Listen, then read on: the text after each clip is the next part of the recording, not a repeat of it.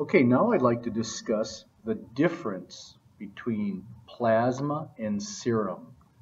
Oftentimes you'll hear somebody say, here's a plasma sample, or here's a serum sample.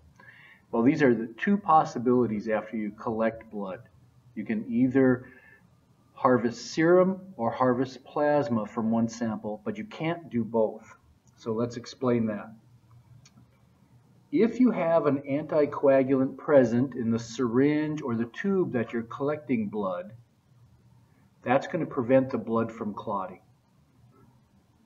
And then after centrifugation, you get plasma from that sample. Okay? So, if you have an anticoagulant, and we'll name some, and you spin the blood, you get plasma.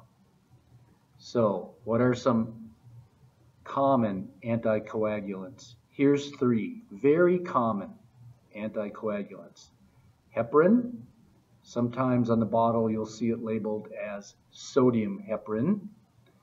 Then there's EDTA, which is a long, long word that I won't tell you about in this introductory type course, but it's a very common anticoagulant. And then the third common one is sodium citrate.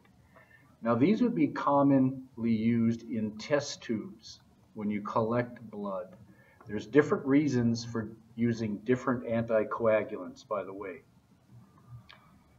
If you have no anticoagulant in the tube, as I'm indicating over here, no anticoagulant, you spin the blood just like you do in the case of plasma, but if you have no anticoagulant, then the top fluid portion is called serum because serum is what's left over after a clot is formed. Okay, so then to collect serum, you would have what's called a plain tube. You're collecting blood into a tube that has no anticoagulant. So let's see what that looks like. In this drawing, thanks to somebody better than myself, I can compare how you get plasma versus how you get serum.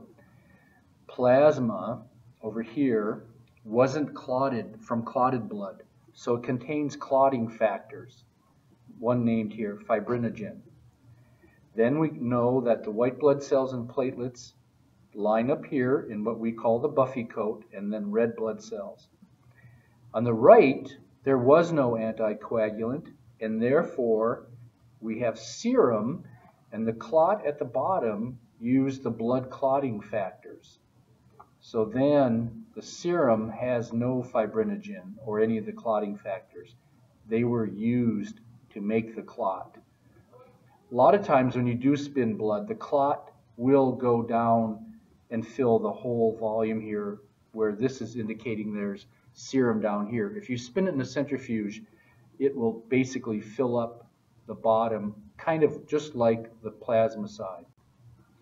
So this picture just shows you dog plasma that can be used for a transfusion. This happens to be 240 mils, and you know also that that's 240 cc's. They're the same. And this has been collected aseptically to the best of their ability, and it's ready for a transfusion of plasma. Now here's a nice picture that shows plasma.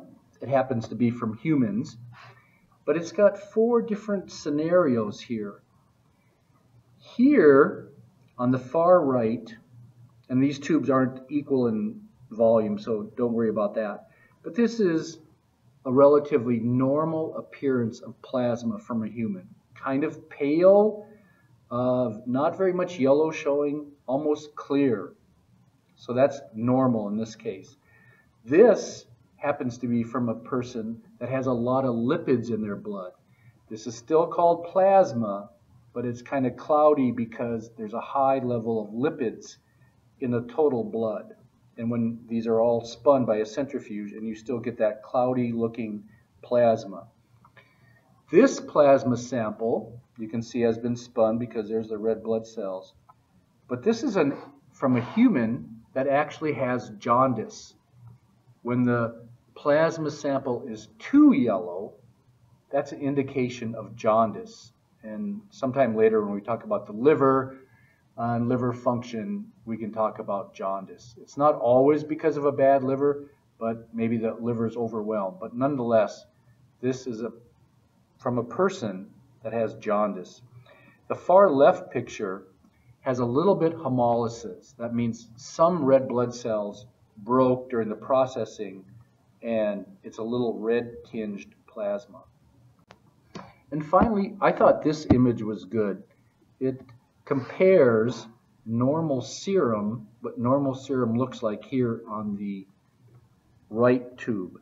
It's serum that has been removed from the blood collection tube just to show you normal serum. But on the far left image here, this is hemolyzed. So this sample is really just serum. This thing is all serum, but it's been hemolyzed so bad that the serum is very red. And uh, so that's this image. The middle one is selling a product where you put this product in a sample that looks like this and you spin it and you get all the hemoglobin down to the bottom and now you can, let's say, recover some normal serum.